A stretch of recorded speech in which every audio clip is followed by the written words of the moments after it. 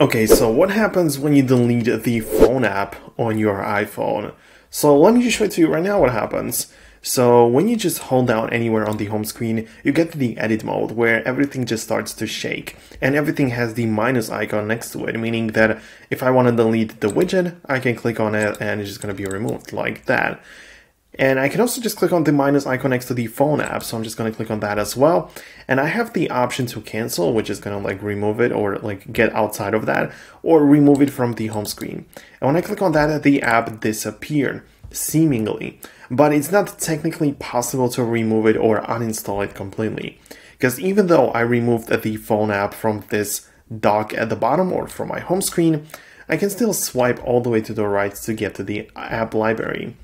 And within the social folder, you can already see it there. I have the phone app available, so it's always just going to be there.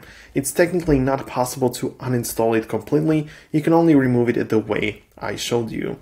But to bring it back, just grab it like this and just add it to the home screen like that. No problem with that. So yeah, this is basically how it works. If you cannot find it inside of the app library, what you can do is just click on the search bar and this is going to give you the list of all of the apps sorted alphabetically so you can get to the P like that and find out the phone there or literally just look up phone at the top and it's just always going to show it to you there because it's not possible to delete it. Some apps on the other hand have the ability to be removed from the iPhone entirely. For example, if I hold down on the music app like this, I can, if I just edit the home screen, let's say I click on the minus icon, I don't only have the option to remove it from the home screen, but also to delete the app.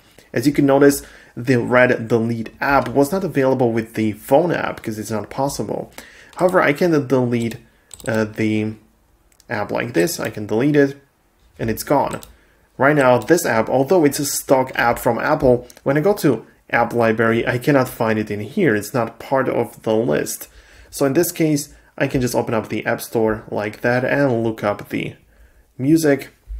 And literally the first one is going to be the Apple Music. So I'm just going to reinstall it and it's going to appear on my device as well. And again, so technically nothing happened even if I delete it entirely. But when it comes to the phone app, you cannot even remove it from the phone altogether. You can only just hide it or remove it from the home screen and then it's still available within the app library.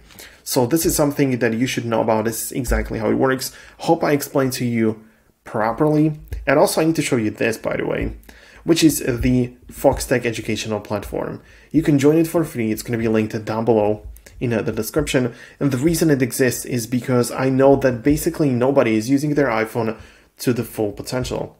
That's why I created the group. And you can find other people learning already as well. But there are courses on video editing, in-depth iPhone guides. For example, if you check out check out the full guide on the clock app which is literally 20 minutes long you're going to find out about things that you i can guarantee that you didn't know about the app just so you can use your iphone in a better more productive way so go ahead and join it right now it's free to do so so why not so thanks a lot for watching and i'll catch you in the next Foxtecc tutorial